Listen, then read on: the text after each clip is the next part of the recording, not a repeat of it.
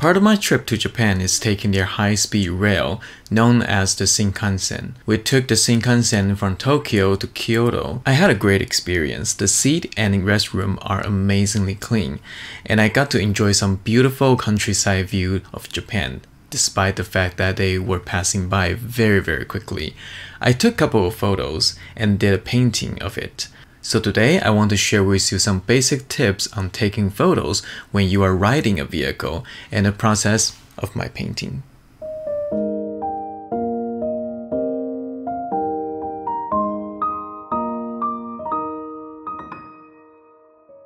Hey, this is Eric from Cafe Watercolor. If you are going on a trip to anywhere in the world, chances are you are going to ride a transportation. And have you ever spotted a beautiful view that passed you by in a few seconds that you wish you could paint? This happens to me all the time, especially during a long distance road trip. Because the routes between cities are usually countrysides with natural sceneries like rivers, mountains, and big open lands and skies. Not everyone lives near nature, and even though the place I live has a lot of trees and natural sceneries, a big open field that I can see from a distance is still hard to come by. That was especially true when I was in Japan. My first week in Japan is in Tokyo, which is a very dense, busy city. So when we took Shinkansen away from Tokyo, I started to see big open lands and greeneries. It was like a breath of fresh air. So I sat next to the window and started taking pictures. And I realized that I never shared with you how I took these photos for painting references. So even though this might seem a bit just like common sense, I realized there's no harm in sharing, so here they are. Number 1. Stick your camera to the window as close as possible. When you are riding a vehicle, especially a train, there are likely going to be reflections from inside of the train. So by moving your camera as close to the window as possible, you eliminate the reflection of your surrounding. Now, if you're able to open the window, that would be great. Just be careful not to lose your camera, your phone, or your hands. Also, sometimes the windows you are sitting next to are not the cleanest, so by sticking your camera very close, your camera lens will not focus on the dirt and grimes on the windows and will focus on the actual views. Number 2. Zoom in if possible. I mentioned multiple times that the camera lenses on our phone are often too wide which makes them more versatile because you can stay close to the subject and still include a decent amount of surrounding in your photo. However, when you are on a train or a car cruising along the interstate highway or something, you are often very far away from the subject you want to take. While you might not feel that way when you look out with your own eyes, your camera lenses, especially your smartphone lens, will capture much more view than your vision. The scale doesn't look as believable, so you want to zoom in when you take the photos. If your camera or smartphone doesn't have zoom lens, always remember to crop it afterwards. Sometimes I crop my reference photos even after I took the photo zoomed in. And number three, start early and take multiple photos. Because you're moving so fast, you will likely miss the shot if you only start shooting after you see a good view. By the time you pull out your camera, turn it on, and get the right setting, the view you want to capture is probably miles behind you. So unless you know the route so well, you know exactly when to take the photo, you want to get your camera ready. Start taking photo when you see the view is coming to you. Take multiple shots, you can pick out the best one later. Lastly, just a friendly reminder, don't try to take photo while driving. This should go without saying, but I am really tempted to do that from time to time, and that's very dangerous. Sure, you might end up with a scenery photo to die for, pun intended, but it's not worth it. So let's take a look at the process of this painting. It's from one of the photo I took during the ride. I found this a very relaxing and peaceful view of the countryside. Upon a closer look, I realized that it's a rice farm. So without further ado, let's take a look at the process of this painting.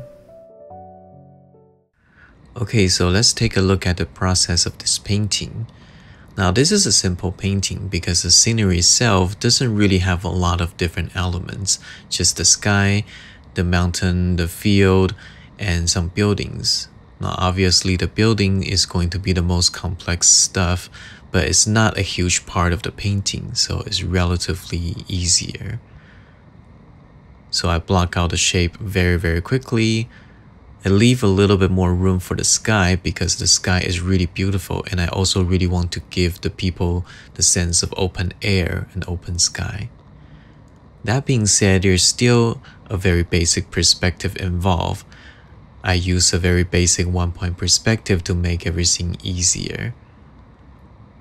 So here I start to draw the silo, then the barn, the house, so I start off with a very typical rectangular box with a triangular prism on top. It gets a little bit complex when it involves multiple different buildings.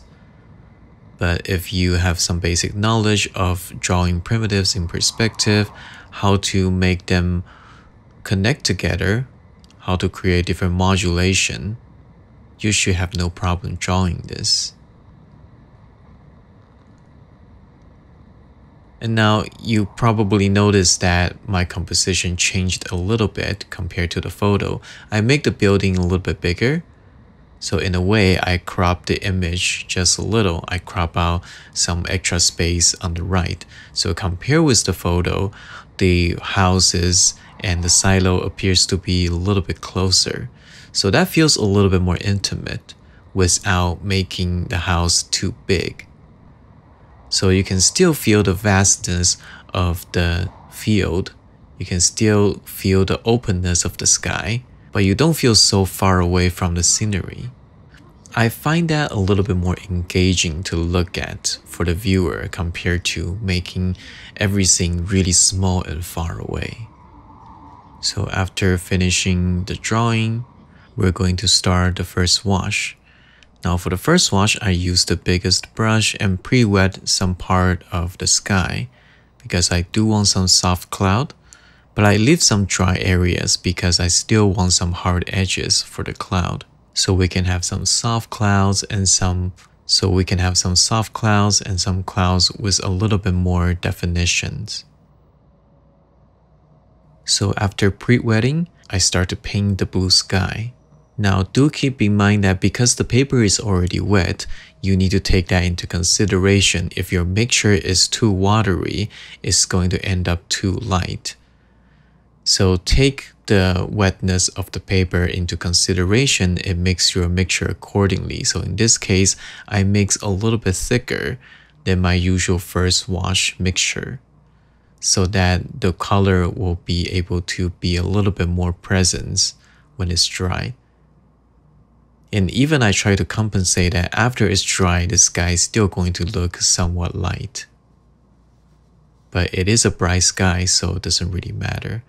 And now I start to paint some dark side of the cloud with a little bit of alizarin crimson, some burnt umber, some cobalt blue. And it's important to understand that you want to finish all this before it is dry especially the way I try to paint cloud, I usually want to leave them kind of loose and transparent and soft. If the wash is dry, you're going to end up with hard edges. A little bit of hard edges are fine, but I don't want too much of that for the background. Now I continue down to the horizon area and I leave some random highlights to hint the buildings in the background and I started to give it some green tone to the background. Since this is the first wash, we are painting the color of the sky. And also the building itself. Now the rooftop are pretty light, but there's still a little bit of color in it. It's not pure white. So a little bit of color is fine and we quickly continue the wash, we want to have a nice, consistent, clean wash. Since we are not painting any sort of structure right now, if the color bleed into each other, that's totally fine. Now I'm painting some color of the rice field.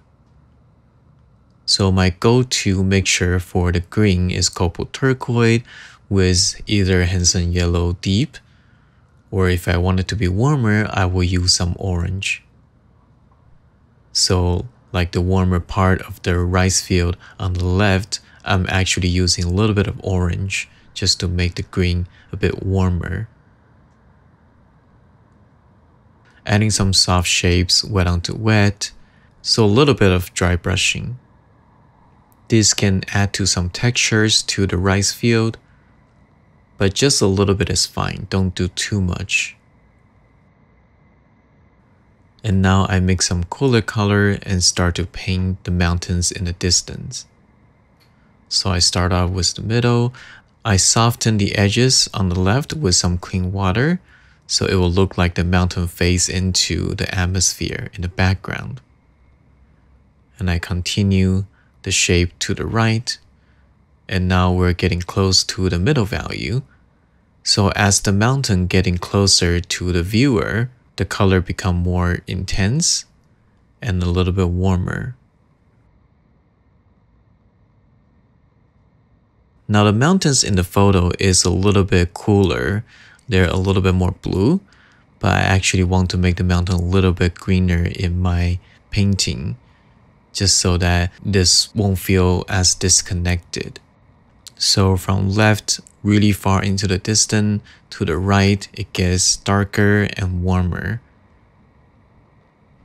And I start to paint the distant buildings. And when I'm painting those, I don't really think about building all that much. They're just shapes. So I preserve some of the highlights and paint a little bit of middle value shape underneath the highlight and then immediately you start to think of them as distant buildings with rooftop that get lit by the sun. And it's that easy. That's the power of visual language. A simple contrast in the right context, it can be very self-explanatory for the viewers. Continue this wash to the right. And I start to paint the silo is mostly bluish color, but because of the outside has a little bit of rust, so I added some warm kind of red dirt color while it is still wet. So we can have that kind of soft rusty color. And I continue the wash to the right and I decided to paint over the rooftop as well because I know that the color is going to fade to a little bit lighter and I don't want the rooftop to be too bright. It's not really that white, so I just paint over all of them. I continue to wash little hints of the details in the distance. And I feel like the grass color is a little bit weak, so I go over it again just to make that green more intense. It is a sunny day and under the sun, those green are actually very vibrant. So I continue to give this another layer. And now the color looks nice and rich.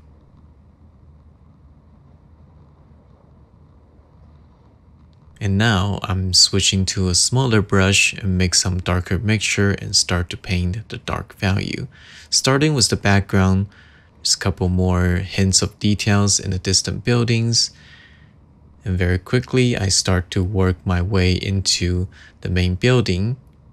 A little bit of a dark occluded shadow and some dark details, especially under the roof and give it a little bit of thickness of the concrete slab.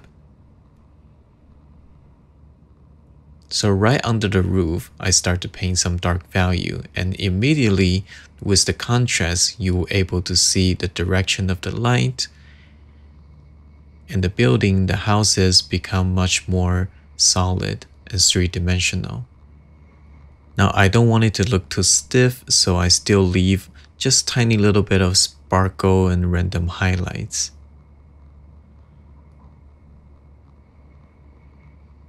So the side of the building, add the dark to the wall. And I also try to switch the color around, have a little bit darker red, and now here I add some turquoise, some greener color to it. So the roof color for the right building is actually green, so I actually paint that in. The value is a little bit different.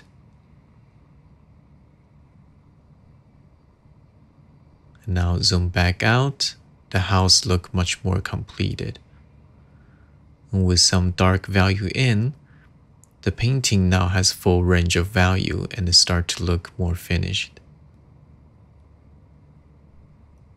And here just little details, the electric poles, little touches of details make this look a little bit more refined. A few marks to suggest the thickness of the rice field. Now we don't need to paint individual ear of rice. That's going to be too much unnecessary detail, so just a few marks to suggest the thickness of the rice field is enough. We just need to suggest the volume. Couple more dark detail and there we have it. It's a relatively simple painting, but every time I see this type of view during a road trip, it always got me thinking. We only see this view for a couple of seconds, but some people work there or even live there their entire life. Whenever I go on a road trip, I see numerous this type of barns, farmhouse, and fields, but each feels like there's a story there. The person who lives here or works here might never see this painting, but it's very relaxing and enjoyable to paint, so hopefully I brought some meaning to this simple scene. Hope you enjoy another slice of my trip and I hope the tips I shared today will be helpful for your next road trip. By the way, my signature brush sets with Craftamo are completely sold out. Thank you so much for your support. I am super grateful. Alright, that's it for this video. If you want to see more, be sure to subscribe to my channel and ring the bell icon. Also follow me on Instagram for more frequent update and new paintings. I am Eric from Cafe Watercolor. Wish you a wonderful day wherever you are. I will see you next time.